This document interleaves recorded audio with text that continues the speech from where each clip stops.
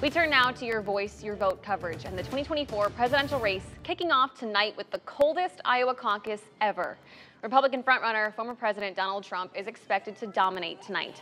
Nikki Haley and Ron DeSantis seemingly battling it out for second. DeSantis is putting it all bets on Iowa, visiting all 99 counties and holding more events than Trump and Haley combined.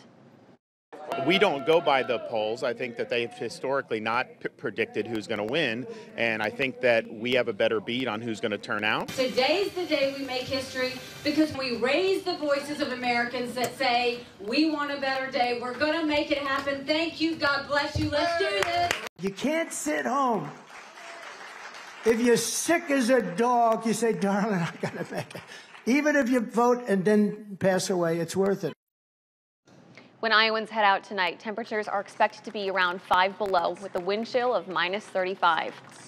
News 8's Jenna Webster, though, inside, warm and safe, live in Des Moines, where all the eyes in the political world are focused tonight. Former President Trump has a big lead in the polls, and the big question, can another candidate pull off a shocking upset? Good evening, Jenna. Hey, Shelby, yeah, that really is the big story today is who can become a competitor for Donald Trump moving forward? Who is going to get that second place position? Because when you look at the polls right now, Trump has a very commanding lead, almost 30 points above. But let's talk about these polls for a second. From last month, he did dip ever so slightly. Not by much, not probably going to make too much of a difference based on how high he's polling right now.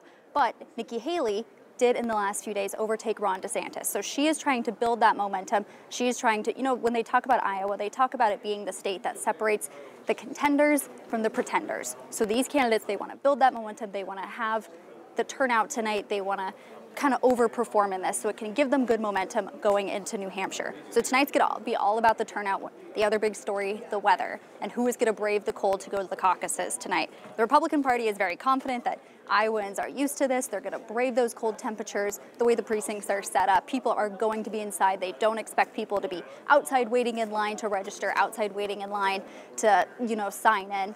But we'll see how everything plays out tonight and who can actually be a contender for Donald Trump tonight. You, you heard Ron DeSantis say it.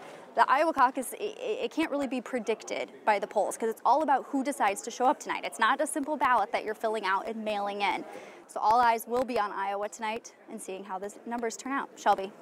All right, thanks, Jenna. And our coverage of the Iowa caucus continues tonight on News 8 this evening and on a late edition of News 8 at 10, right after the NFL playoff game. But we will also be streaming live all night long on WQAD.com, the News 8 app, and the WQAD YouTube page. You can also get caucus information, including your precinct number, by texting the word caucus to 309 304 0888, and we'll get that information sent straight to your phone.